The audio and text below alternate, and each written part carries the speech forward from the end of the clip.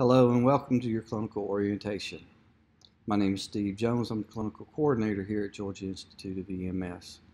We're going to take the next 30 minutes or so and talk about the clinical or clinical rotations that you will be attending, whether you're an EMT or an AEMT.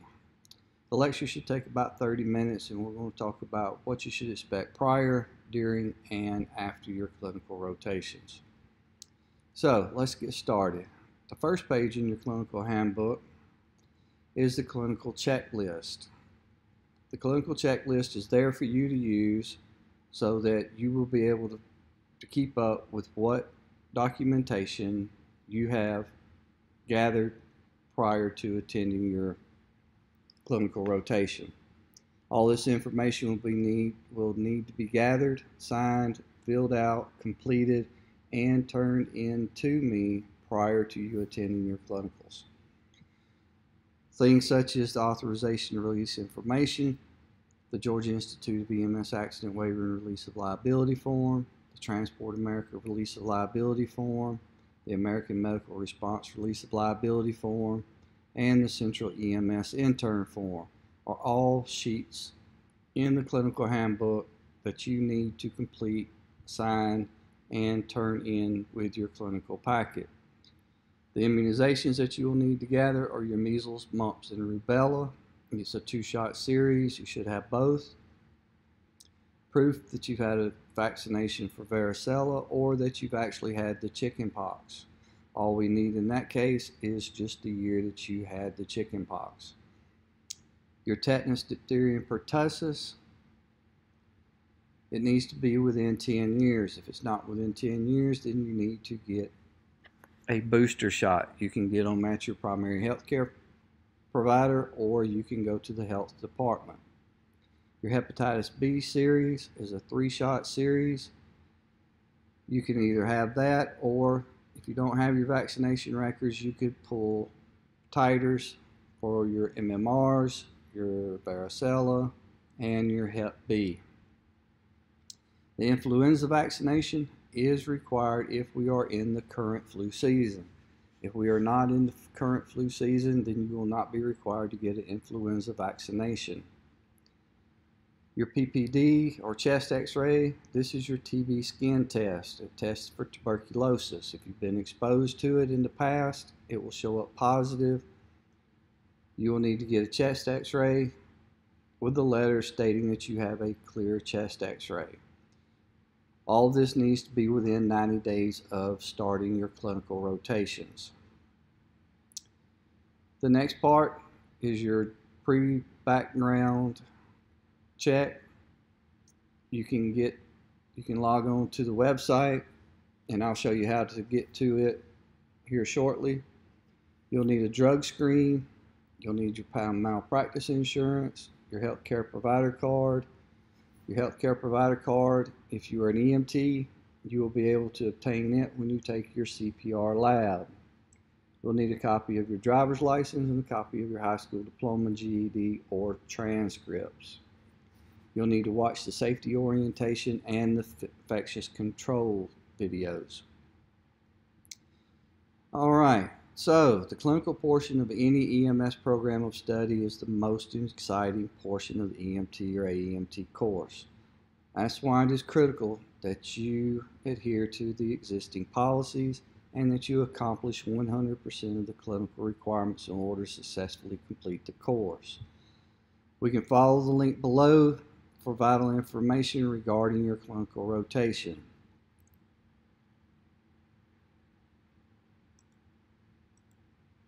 Well, I thought we could. Evidently we can't. Let's see. Nope. All right, so what you need to do is log on to the Georgia Institute of EMS website, click on current students, then you will scroll down past where you log into the course room and the next part is your EMS and ER clinical information. Down below it is a link that says EMT and AEMT clinical information. You'll click on it and then it says please read the entire page before starting any of the steps below. So step one, you want to get your background check. If you click on the link, it will take you to the website and you can order your background check. Please, we put this one first because it takes sometimes two to three weeks and it could take even longer if you've lived in multiple states or out of the country. We need to schedule your drug screen. We offer drug screens at the school, usually twice during the class. The cost is $40 and it is cash only. It's not $45. And you need to order your clinical shirt. You'll click on the link, you'll go to the order form, and you will get your order your shirt. I don't know the exact price, but I'm sure it is on the website. You'll also need the following for your uniforms. You'll need black or navy pants. You can get them from Dickies. You can get a pair of Dickies from Walmart. They're inexpensive. You don't have to spend a lot of money on your uniform. You don't know which service you're going to go to. You don't know what they're going to require. If you go out and buy a $60 pair of 511s, you may not be able to wear them. So please, just buy something to get by during class, and then once you decide where you're going to work, who you're going to work for, if you are planning on working in the field, then go out and buy you a set of pants that are compatible with the uniform at that site or that organization. You'll need black EMS style boots or shoes. All they have to be is they need to be black, they need to be polishable, and we recommend that they be at least six inches so that it will protect your ankle, ankles over uneven ground. A black belt that is void of any decorations, a watch with a second hand or digital output that shows the seconds. The next step is you want to get your TB test done. You can get them at any of the healthcare center departments. You can get them from your primary care. Whoever you want to get them to, it does not matter. As long as you get one and you get it turned in to us prior to you attending your clinical rotation. You need to provide evidence of your immunizations, which is your Hep B, your varicella, your MMRs, your Tdap, everything that is listed on that clinical checklist in the front of the clinical handbook. Step 6 says download the following documents to your computer and read every page. This is the student clinical handbook. Please do not load this one. It is out of date and has information in it that you do not need and it is missing information that you do need. If you have not received your clinical handbook, please shoot me an email at steve at gaiems.com and I will be happy to forward you the latest and greatest version of the clinical handbook. You do need to follow step seven and watch the entire video. It's a safety video and it goes over information that you will need during your clinical orientation for wearing proper protective equipment, keeping yourself safe, things like that. Step nine, make a copy of your CPR card. If you are an AEMT student and you're just now joining us, you'll need to provide a copy of your CPR card. You'll also need to supply us with a copy of your EMTB National Registry Step 10, you want to obtain your student medical malpractice insurance. Click on the link, Healthcare Provider Service Organization. Make sure that you put that you are a student. If you do not put a student, it could have higher premiums. If you put a student, I think it's somewhere around 38 bucks for a year. Make sure that you download the binder page, which is the sheet that tells you what your coverage is. Once you download it into a PDF format, please email it to me. And anything that you can digitally scan and email to me, the better off you're going to be. That way, you have the originals, you have a digital copy, I have a digital copy. I will print them out and put them in your file. you need to put play, get some kind of folder or paper clips or alligator clips, whatever you want to get. Put all of your stuff together and turn it into me. I have a box just outside of my office or office door. Please feel free to put it in there at any time. I'm usually in the office two to three days a week, and I will go through it and make sure that you have everything. If you're missing anything, I will shoot you an email. So next, once you have all of that done, we will check, shoot me an email saying that you're ready to start your clinical rotations. I'll make sure that you've completed all of your required labs. I'll make sure that you are caught up in your course room and I will check with the financial officer and make sure that you are financially ready to start your clinical rotations. Make sure you have your uniform clean, pressed, and ready to work and arrive at your clinical site on time. So that is a general breakdown of everything that you are going to need. And it is, the link is right beside it. You have your course room here, and then you have your EMT, AEMT clinical information on the next link down. Drug screens. A lot of people live far away, two three hours, some of them further than that. The furthest we've had a student come from is London, England.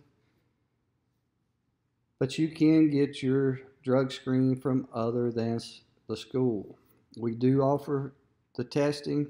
It is $40 cash. She comes to us, you get your drug screen she sends the results directly back to us, which maintains the chain of custody.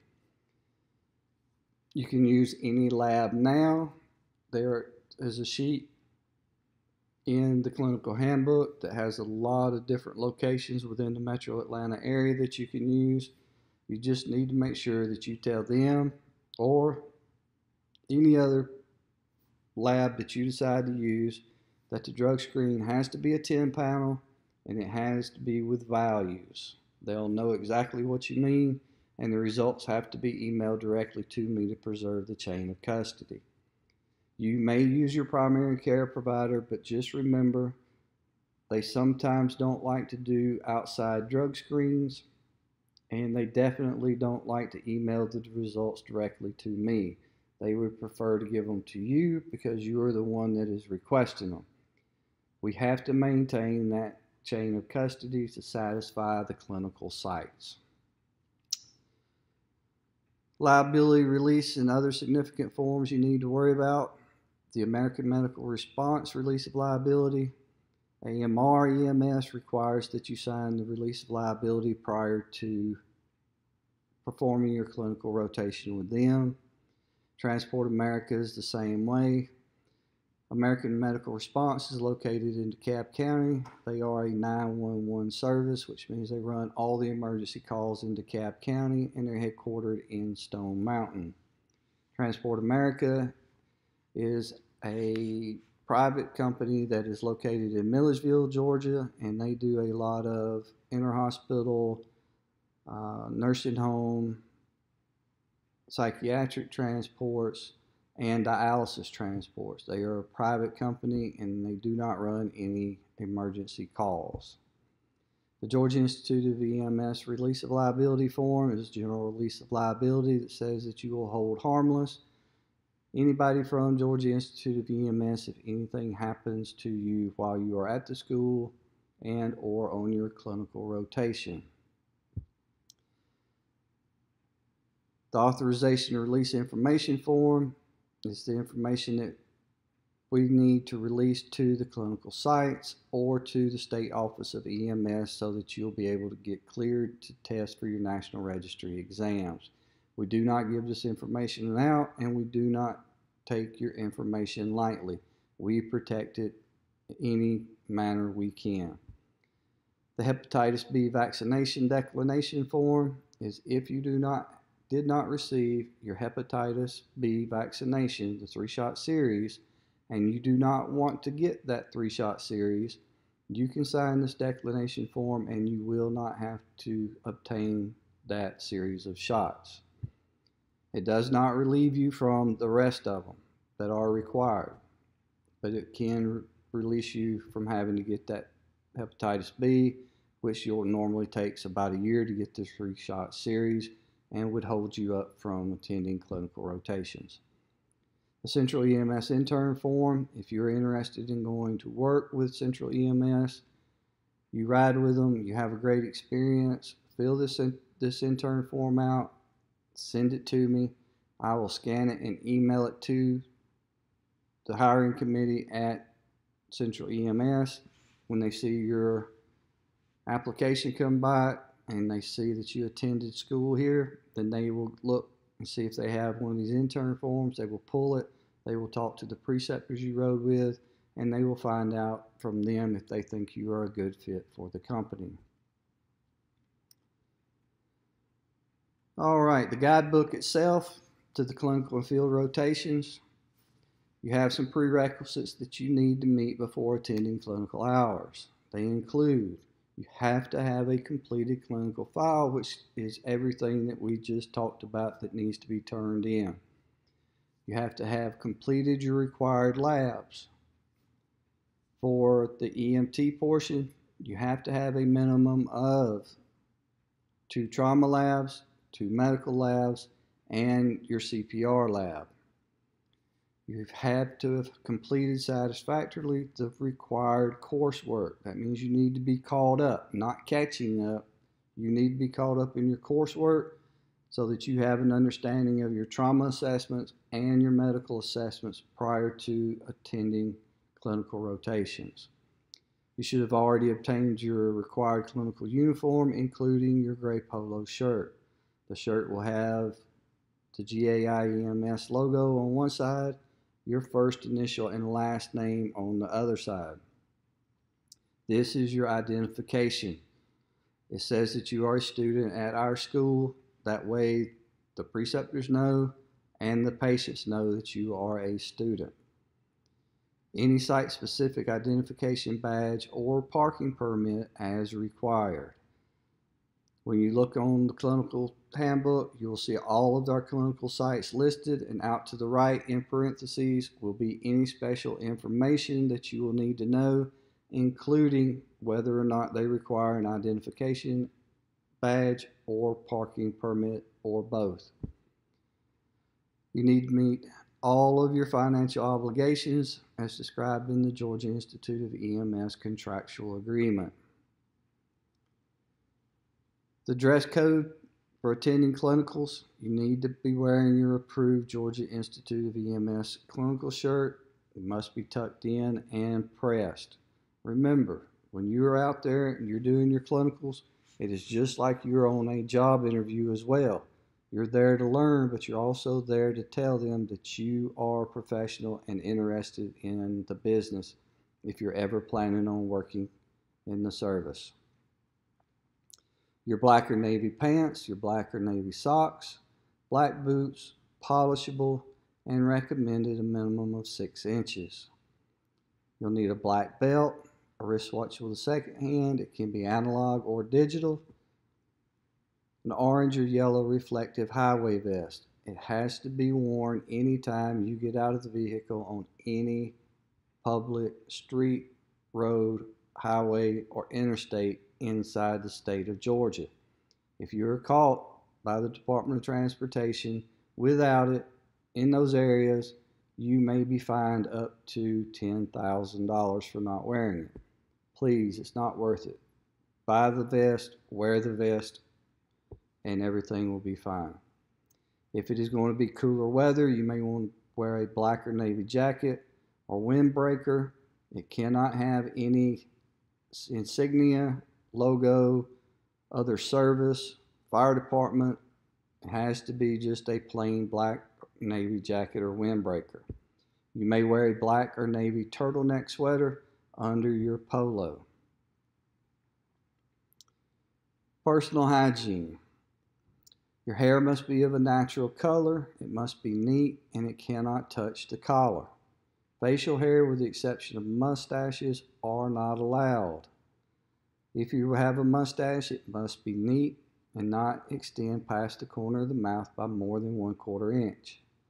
Women's hair must be pulled up if the length is past the collar of the shirt. We recommend that it be pulled up and put into a tight bun. This is for your safety. Fingernails must be neat and clean, and nail polish of any kind is not allowed, including clear. Acrylic nails must be removed prior to attending clinical rotations. All visible piercings must be removed and visible tattoos must be covered at all times during the clinical rotations. For safety reasons, bracelets, necklaces, earrings, and other jewelry shall not be worn during clinical rotation. One pair of stud earrings for women are the only thing that are allowed, as well as wedding bands. Patients are often sensitive to strong odors or scents. Students may not wear perfume, cologne, or aftershave. These odors can cause COPD exacerbation or cause asthma attacks. Always present yourself in a professional manner. EMS is a very small community and it doesn't take long for word to spread if you are not the kind of professional they are looking for. Your required clinical items that you will need to take with you naturally, your uniform. You'll need to take your clinical paperwork. We'll go over that at the end, but you want to make sure that you take enough clinical paperwork with you so that you don't run out. If it is, if you're required to have an ID card, which is site specific, again, check the clinical handbook next to the sites. If it is required, it will be beside the clinical site in parentheses. You'll need to take a stethoscope with you. You'll need to take a wristwatch with a second hand, analog or digital, your reflective vest, a pen light, and a parking permit if it is required for the site. When you're ready to schedule your clinical rotations, you'll review the clinical sites listed in the clinical handbook. You want to pick the clinical site that you would like to attend, the dates that you would like to attend, and the times that you would like to attend if it is applicable. Send it to me at steve at gaiems.com and I will schedule you on a first come, first served basis. We have multiple classes going on, so sites can get filled up rather quickly. Please do not wait until the last minute to do your clinical rotations. You may not have a slot to be able to get into. So please start as early as possible.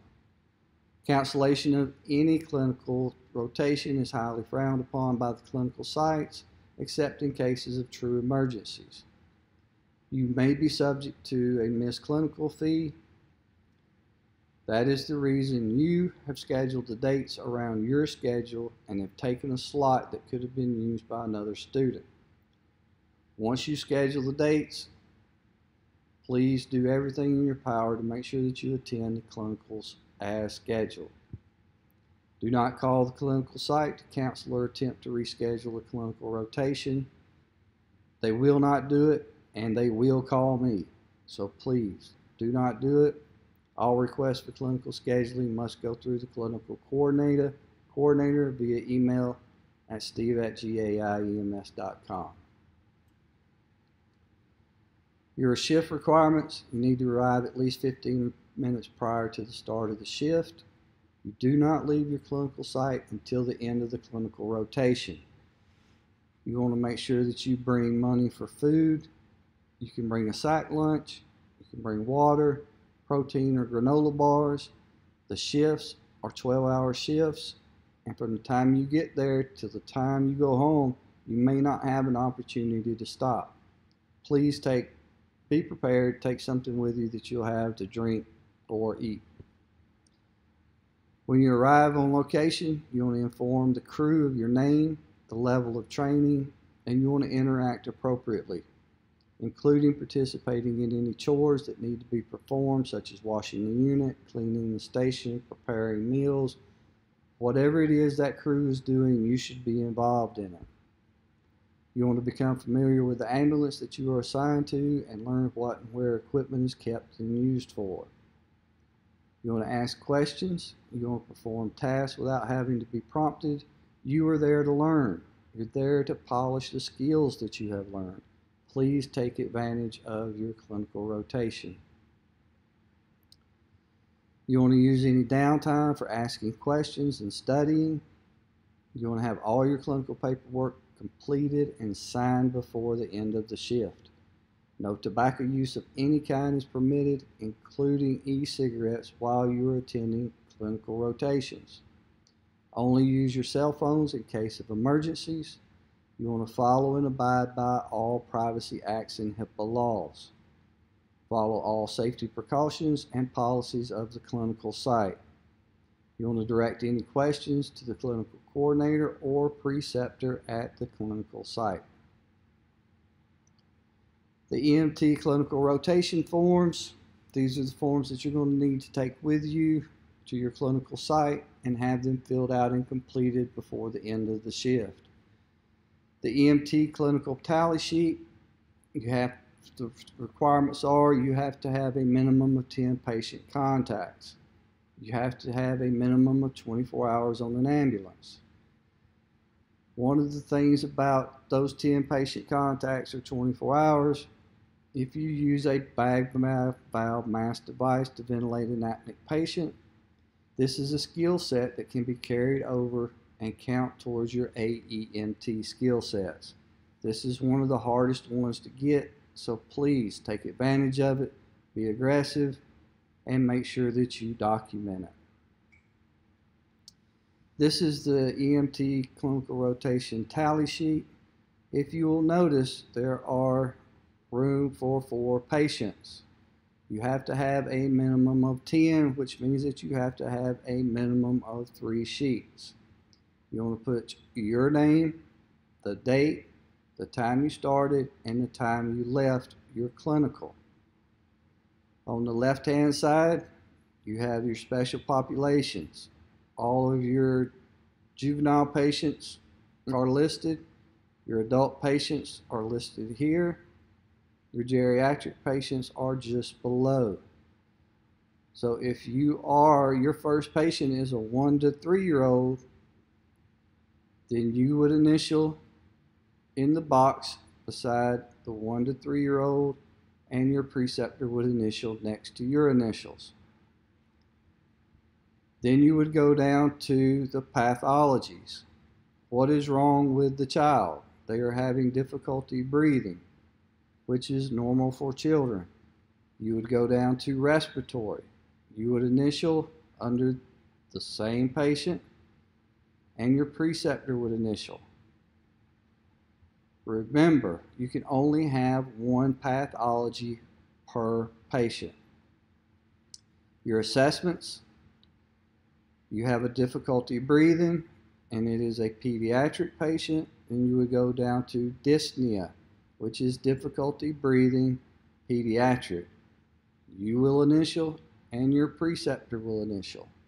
If you do any other assessments that you feel are necessary, such as general weakness, you can initial it and your preceptor can initial it.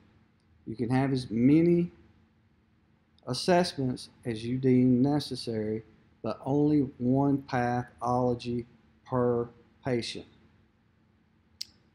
For example, you have a 67 year old male complaining of chest pains and difficulty breathing.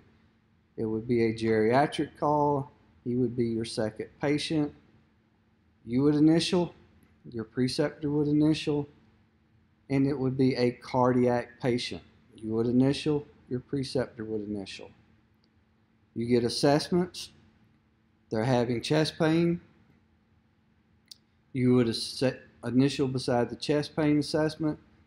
Your preceptor would initial beside your initials. Difficulty breathing, you assess for that. You initial, your preceptor initials. They have general weakness and they have dizziness. They may be syncope. So you could have four or five assessments for that one cardiac pathology. When you've completed this sheet, You will you will sign it, and the preceptor will sign it. The next form you need to fill out is the patient care report. You need to have one patient care report for each patient on an ambulance. You want to use the SOT format to write your PCR. You never want to write anything in the PCR that could identify the patient, not their address, not their name, anything like that. Just non identifying demographic information. So, you write your narrative and you do your subjective information, which is what the patient tells you. Your objective information is what you discover about the patient, and then the treatment and transport of what you do for the patient and the outcome of interventions and location the patient was transported to. This is the patient care report. You want to put the patient's age, their sex, the date, the county the call originated in, and put your SOT information in the narrative. Right below that, you want to put your vital signs, the time, the blood pressure, pulse, respirations, and their mental status. Are they alert? Are they alert to verbal? Are they alert to painful? Are they alert? Are they unresponsive? So in this box, you would have one letter. It would be an A, a V, a P, or a U. You want to do it every five minutes for unstable patients and repeat your assessment every 15 minutes for stable patients. Print your name, sign your name, your preceptor will print their name, and they will sign their name. The next page you're going to need to get filled out is the clinical preceptor student evaluation form. They will be looking at your skills and evaluating them, assessing them on a 1 to 3 grading scale. If they give you a 1, that means that you failed to perform procedures in a competent manner and that you are not professional. If they give you a 2, you're inconsistent in your performing skills in a competent manner and you are inconsistent in professional behavior. Number three, you consistently perform procedures in a safe and competent manner and you displayed good professional attributes.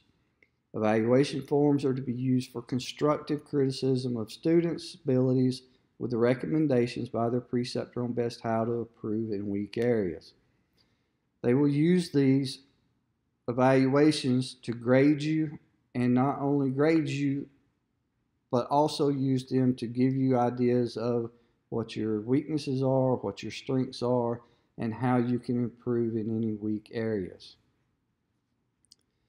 They'll grade you on how you perform patient assessments, including your history taking and physical exam, if you can formulate a correct treatment plan and verbalize an appropriate rationale. Verbalize pathophysiology, assisting with chores, you can perform the skills that are within your scope of practice using proper and safely, safe techniques. Display a professional attitude and appearance at all times. You want to show punctuality throughout the rotation. You're self motivated and uses any downtime during the day to learn and study. Ask them questions. It shows that you're interested. Display self confidence and displays appropriate communication skills. The second page of the evaluation form is any remediation, remediation that the preceptor feels that you will need to do. If you have skills that you need to perform, such as history taking, uh, physical examinations, gathering sample history or medications, whatever it is that you need to improve on, your preceptor should put that here. They will give a description of their concerns and they will give you an idea of what you can do to improve it. They should go over this with you before you leave for the day. They will sign it and date it. You will sign it and date it, and you will turn it in with your clinical documentation. All right, so that's the EMT portion. There's not much difference between the EMT clinical paperwork and the AEMT clinical paperwork, except you have to have more patient contacts, you have to have successful IVIO attempts, medication administrations, and you have to have a successful team lead on an ambulance. Also, you have to have specific patient assessments, not just random or any. So, for your patient contacts, you have to have five pediatric, five adult, and five geriatric. You need 10 successful IV or IO attempts. And when we talk about successful intravenous, you can also count a successful blood draw. You are getting into the venous system and taking blood out. So it does count as successful intravenous, intravenous access. 10 medication administrations. Remember, you can give any medication that your preceptor allows. It doesn't have to be just the ones within your scope of practice. If you are with a paramedic, you can give any drug that they can give as long as you are in a student capacity. If you are with an RN, you can give any medication they give as long as they are with you and they are your preceptor. The successful team lead, you have to have one of those. It can only be performed on an ambulance. And it is when you take charge of that patient from beginning to end. You have to access one chest pain patient at a minimum, one respiratory distress patient, and one altered mental status patient. Altered mental status is somebody who has seizures, somebody who has a stroke, somebody who is on has psychiatric event. So they are just not in their right mind due for whatever reason. The tally sheet is exactly the same except for down at the bottom. Down at the bottom is where you will document your skill sets. If you ventilate an unintubated patient with a bag valve mask device, you'll go to where the patient is listed on your tally sheet. You will initial and your preceptor will initial stating that you have completed that skill. Medication administration, same thing. You will initial, your preceptor will initial.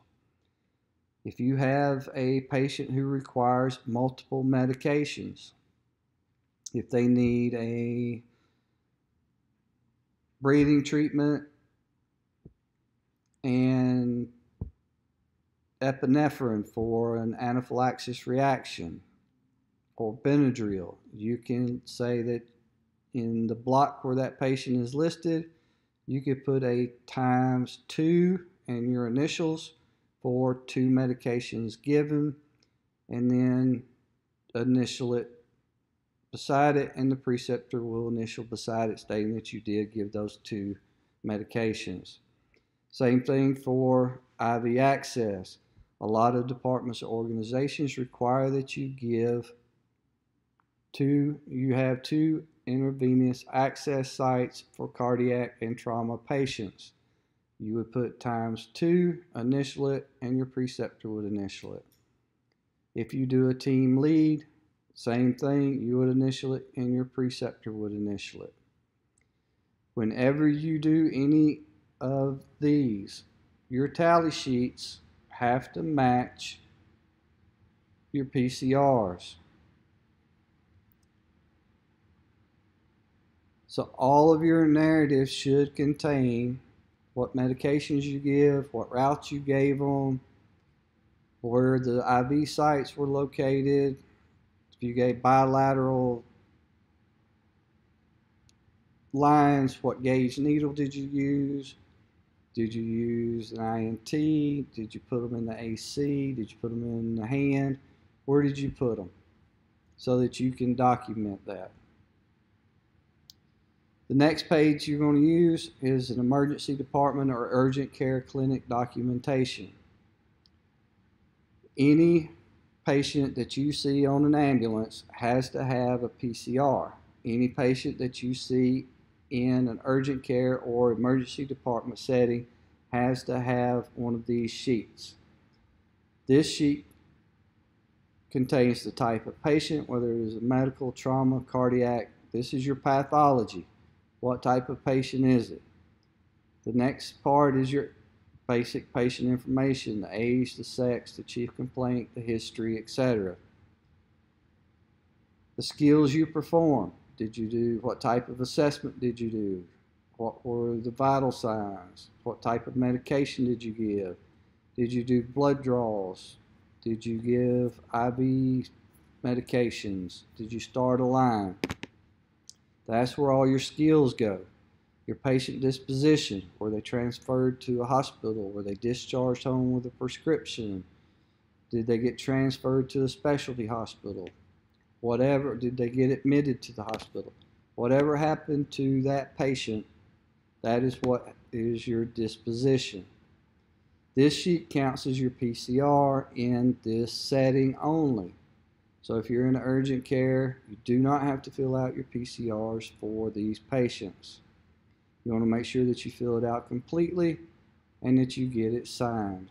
So put your name, the date, the time in, the time out, your preceptor's name, and the clinical site, whether it is a hospital or an urgent care clinic. And this is what the sheet looks like. So you have enough room for one, two, three, four, five, six, seven, eight, eight patients on each sheet. So you don't have to do the PCRs, but you can keep up with your patient load adequately. We've already talked about the PCRs. They have to be one for each patient on an ambulance. It is the only place you can do your team lead is on an ambulance. Cannot do it in an urgent care clinic.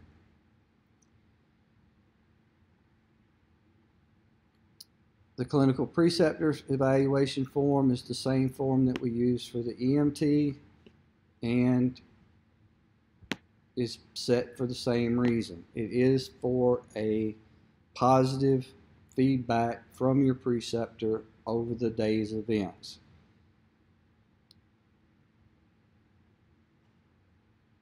And it looks exactly the same. All right, so now We've successfully completed the course. Now what do we do?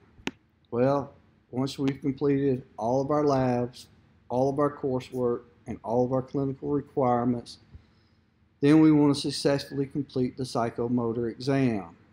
If you're an AEMT, note that the new rules require that you successfully complete the EMT psychomotor and written exam prior to taking the AEMT psychomotor exam. You want to create an account on the nremt.org website.